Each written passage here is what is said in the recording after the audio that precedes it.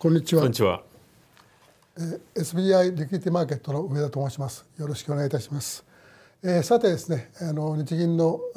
金融政策決定会合がありまして、恒例のですね、えー、まあ対談といいますか、えー、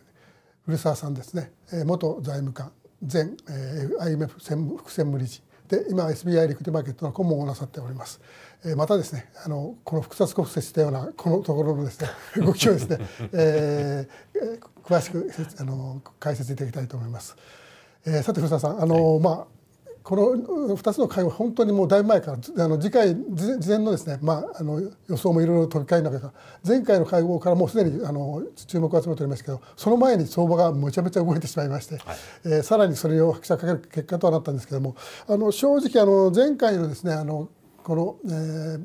対談でもですね古澤さんは7月利上げあるということではっきりおっしゃっていました、はい、えー、私自身もねですね私はちょっと立場が違ってあの勝手にあのネガティブ俳句と呼んでるんですけども、うん、もうここを逃したらまた難しくなるだろうと思って絶対やるだろうと思ってまして、まあ、あの直前に、えー、その感想が後退したりまた、えー、その当日のですね夜中に、えー、またなんていうかリークと言いますかね 出ましてですね。結局あの結果としてはまあほぼほぼ期待通りといいますか予想通りの結果になりましたけど、まあ、そういう意味ではですね私はちょっとそのあの決定会合の結果発表直後の反応って非常にまあ納得できるとかちょっと円高行って、えー、また元に戻ってちょっと円安に行ってというところでまた落ち着きどころを探したところだったんですけども、えー、まああの上田総裁の会見が始まりまして、まあ、あの追加利上げに言及したということで、まあ、そこはあの、まあ、多価的という言葉はちょっと変ですけど、まあ、多価的ということで捉えられまして、えー、円買いが再び勢い増したということですけどそのあたりですねどのように本当それが本当にそれだけの理由か。つまりその AOC も経てですね今日は148円台一回突っ込んでますけども、えー、そういうことだけでですねつまり先の先のことを言っただけでここまで円高に来るんだろうかというのはその前にかなり円高来てますんでねちょっとなんか行き過ぎるような感じもあるんですが、まあ、相場は相場なんで、えー、これ受け入れざるを得ないですけどその辺のあたりどうお考えでしょうか？あのやっぱ会見の中でですねあのおっしゃられたようにその総裁がその今後のですねえー、道行きについて、かなり明確に、えー、言われたというところですねその今回示した経済物価の見通しが実現するんならそれに応じてですね引き続きその政策金利を上げてですね、えー、その金融緩和の度合いを調整するんだということを明確に言われたというところがですねやっぱりその多価的とこう捉えられたんだと思うんですね。で前回までずっとその金融緩和はあの続けるんですよというところにこうかなりフォーカスした会見だったあわけですよね。でそれがあの状況はそんな変わらないあの今回の会見でも言われているように実質金利はまだ相当低いですからそういう意味では緩和の状態っていうのは続くんですけれどもだけどこれからのその道行きについてですねかなり明確にその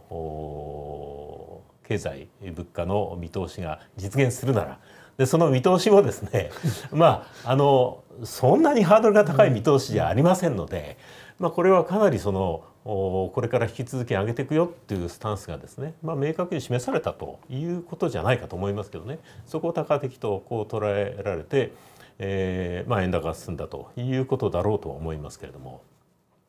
まあ、あの今おっしゃったようにですね、まあ、その円高円安という観点からいきますと,、まあえー、と4月のところでですね少しこうなんかあの円安に、まあ、興味がないと言ったらおかしいんですけどもあの政策と円安は違うもんだという、まあ、観点から喋ってしまわれたということで今回は、まあ、どちらかというと円安をかなり意識したのかなと。でまず介入が、えー、と7月の多分11か12です11と12ですねありましてそれからそれをきっかけに円キャリーの借り巻き戻しが起こってでその上で迎えた決定で、えー、今回ですねかなりその、え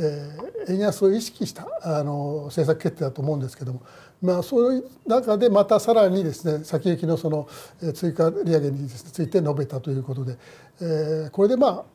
当面って言いますかあのある程度その円安はボトムアウトボトムアウトしたんでしょうかね。つまり160円に行くことはもうまずないんでしょうか。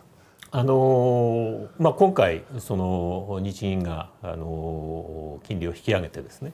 でさらにさっき申し上げたようにこれからの道行きについてもある程度この示唆したと。明確に示唆したと。それからその FOMC の方でえーまあ、おそらく9月にですね、えー、金利を下げるというのが、まあ、かなりの角度が高くなってきてるわけですね。まあ、そういうことからするとですね、えーまあ、今回の円安が、まあ、ボトムアウトしたと。まあ、160円に近づく可能性はですね、まあ、かなりその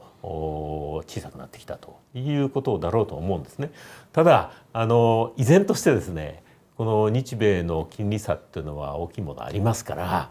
えー、今あの150円割ってますけれどもこの状況がずっと続くかどうかっていうのはこれはかなりクエスチョンマークで私は個人的には150円台にまた戻してですね円安がまじわじわ進むという可能性はですねあの否定できないんじゃないかとは思いますけれどもただあのまた160円とかですね、そういうところまで、えー、円安ドル高が進行するというところにはですねおそらくいかないだろうと、まあ、そういう意味でまあボトムアウトしたということだろうと思うんですね。で今回の決定でまあ、前回もちょっと申し上げましたけれども、まあ、為替をその金融政策というのは為替をターゲットにはしませんけれどもやっぱり為替っていうのは経済の大きなそのファンダメンタルズの大きな要因ですから、えー、そこを全く意識しないでですね金融政策を行うということもこれまたないわけですよね。だからそういう意味ではですねあの今回、えー、まあかなりそのバックグラウンドとして、えー、為替円安の影響というのはあったと思いますけど。まあ、そういう意味ではちょっと円安が一段落してということで、まあ、あのニューインフレについてはですね、まあ、あのまあ、少しも当然まあ効果はちょっと後ずれしますけれども、えー、おそらくピークアウトしたのかなとも思いますし、まあ、そういう意味ではあの物価は徐々に下がっていくんで逆に今度は2%のですねインフレが 大丈夫かとというのはまああの例の物価と賃金の好循環というところがですねいつまにかなんかこうあまり聞かれなくなりましてですね であのそういう意味でちょっと心配なのは今回まああの正直私はですねまあこれはもうあのこれで初めて正常化の道へ第一歩かなと思うんですよね。あのまあ、前回マイナス金利解除した時にはですね、まあ、あの短期プライムも上がる上がることなくですね、まあ、今回はいろんな意味ではそういう意味ではあの国民にとってある意味ネガティブインパクトがあるかもしれませんけど、まあ、これが通常の姿であって、えー、まあ金利がある世界にやっと戻ったなという感じがしましてそれ自体いいと思うんですけどもただ今回ですね、まあ、あの声明それから、えーとまあ、いろんな展望レポートそれから会見見ましてすごく矛盾に満ち満ちてるなと いう感じがしましてですね、えー、まあこの間の前回の際で申し上げたようにあの教科書的には普通はですね経済が加熱するから利上げする加熱する恐れがあるから利上げするというのはパターンなんですけども、えー、まあご存知のようにその1級のですね第一四半期のですね GDP がマイナス2.9と。で皆さんご存知の通り個人消費がですね GDP 占めるは約6割と言われています。その中で、えー個人消費は底堅いという判断ということとそれから、えー、賃上げはですねあの、まあ、まだまだ続くと。まあ、私賃上げに関しては多分これはあのそうだろうなと思うんですよね。あのある意味はそのサービス価格の転嫁というのが一つこうもう何て言いますかね。前はそれがダメなようなことになりますけど今はそれがまあ正しい姿という認識も出てきましたんで。ただあのそこまで楽観的いいのか。つまり、えー、賃金と物価の先ほども今回まるで聞こえなかった言葉ですね好循環はどこに行ったのか。本当にあの巡航速度でですね追加利用していけるか。そのあたりどうお考えですか。あのまあ、あのすでに2%以上のその物価上昇というのは2年以上続いてますのでやっぱりこのこれその利上げっていうよりもですねむしろまあ正常化なんでですね、えー、こういう状況でまあ元に戻していかなくてですね、まあ、いつやるのかというのはこう潜在的にずっとあると思うんですよね。ただあのやっぱ景気をその腰折れさせちゃいけないというところがあってですねそこはまあ慎重にやってきたということだろうと思いますけれども確かにその個人消費についてはですねえーまあ、総裁も言っておられるしその発表文の中にもありますけれども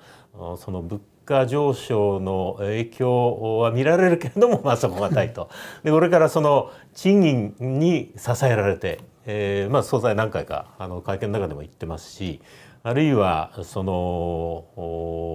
展望レポートの中ではですね、えー、そのガソリン代の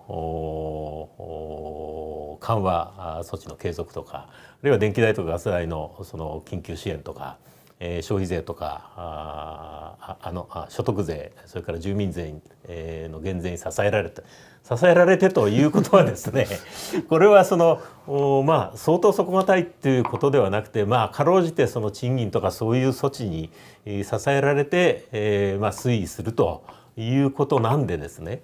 えー、おっしゃるようにそのかなり腰折れしないかどうかっていうところはですねまあ、私は個人的には、まあ、五分五分。要するにその、うん、賃金とか、えー、さっきいろいろもあの申し上げたその措置がですね、えー、物価上昇をその上回るぐらいのインパクトがあってですねこの消費が伸びるかというとそこはかなりあの五分五分綱渡り的だろうとは思うんですね。決して楽観はできないんじゃないかなと思います。ただあの若干今回あの金利を上げたことによってですね時間的な余裕はですねあのできてきたということだろうと思いますけどね。まあ、私なんかあの実感としてですねなんか一つそのあのミスコミュニケーションがあると思うのはその先ほどおっしゃったその電気代だとかですねそれからガソリンのですねまあ補助だとかですねあのこれによってさあのなんて言いますか確かにその極端な物価上昇は避けられていますけどもこの受け取る側から見れば、え、本来の、まあ、別に安くなったわけじゃなくてあの現状維持というところでですねだからといって消費が増えるわけでもないのかなという感じがしますしで、まあ、減税もですね、まあ、あのやり方がどうかというのはまたあの問題があまりあの申し上げたくないんですけどもあの実感として何がどうの？という感じのレベルなんでちょっとその辺のところがをその何て言いますかねポイントにですね消費が今後伸びるというのもなんだかなという感じがしますただあの先ほども申し上げましたように、まあ、賃上げについてはこれかなり意識が上がってきましたし中小企業においてもですねその意識がその非常に高くなってきましたんで、まあ、これは来年の多分おそらく春闘も、まあ、今年のレベルに達すかどうか別にして、まあ、例年のレベル以上にあると思うんで、まあ、そこを、まあ、あの頼りにするかないしかないのかなという感じはしますよね。そうですねあの賃上げについては、まあ、あの人手不足ということもありますので、えー、それからまあイン人材を確保しなくちゃいけないというこの企業のマインドも相当変わってきてますから、えー、そこはあのかなり期待できるんじゃないかとは思いますね。え、ただおっしゃられるように、え、さっき申し上げたような措置がですね、え、これはその、まあ、財政措置の観点から言うとですね、えーまあ、IMF も指摘してますけれども 本当にこういう措置が適切なのかどうかというところの議論というのはまたありますし、まあ、それによって支えられるからあの大丈夫なんですというのもですね、まあ、あの若干あの違和感はありますけどね。まあ、ちょっとあの一歩私見込んで発言するんですけども今回あのいろんな選挙ありましたよねイギリスとかフランスで。でまああの仕事上その公約をですねもうあの一応丁寧に読んだんですけども、まあ、非常に具体的な公約が多いんですよね。で、えーまあ、そういう意味でいきますとねやっぱりこの円安がもし、えー、デメリットがあるんであればやっぱりもうこれからはその金融政策だかどうというんじゃなくてやっぱり政治の出番かなというふうに思いますのでもうちょっとこの、えー、きちんとした政策を立案してですね、えーまあ、日本にとってより良いなんて言いますかねレベルを探していくというのがなんか筋じゃないかとは思いました。そうですね。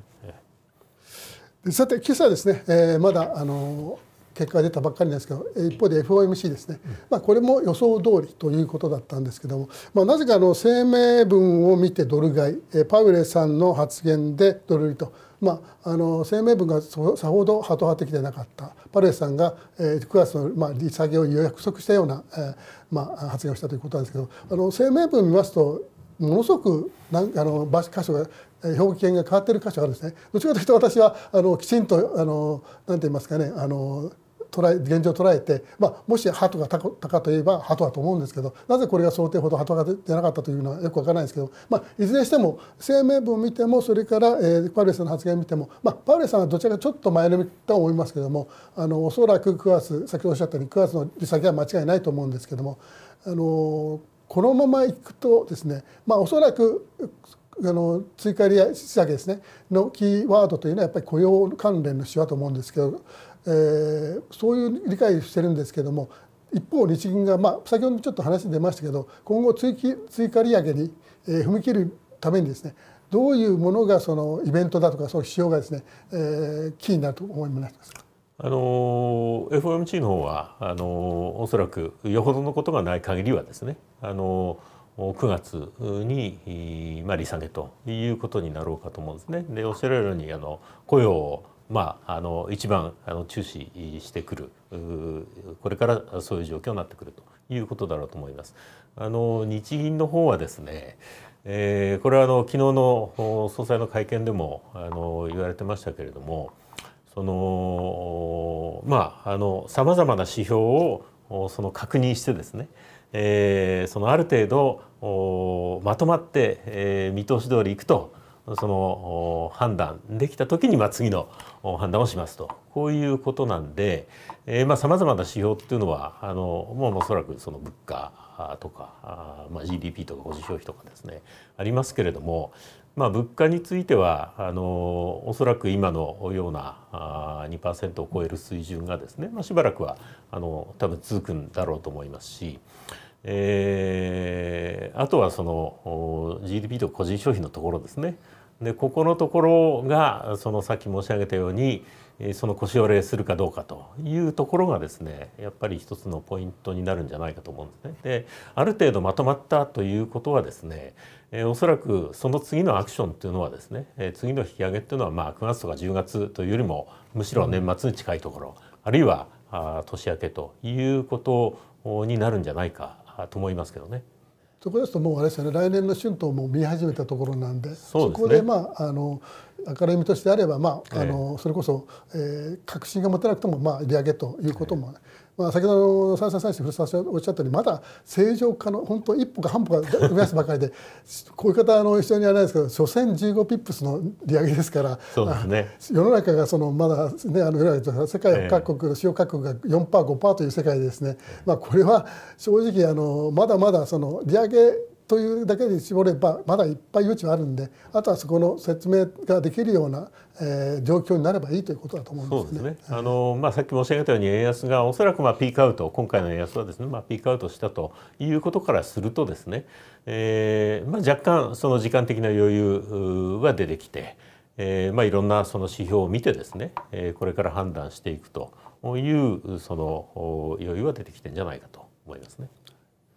まあ、あのこれからですね秋になってワインとかも出てきますね、まあ、これでちょっと少しはですねあの欧州のワインも少し安くなると思いますし、えー、オーストラリア等々のですねあの乳製品ですねこれも安くなると思います、ね、まあ、あのそういう意味ではあの少し我々も恩恵を被るかなと思ってます。えー、またですね今後も、まあ、しばらくは金融政策が、えーまあ、為替の相場のポイントになることは間違いございませんので、ね、また次回お会いしたいと思います。今日はありがとうございました。どうもありがとうございました。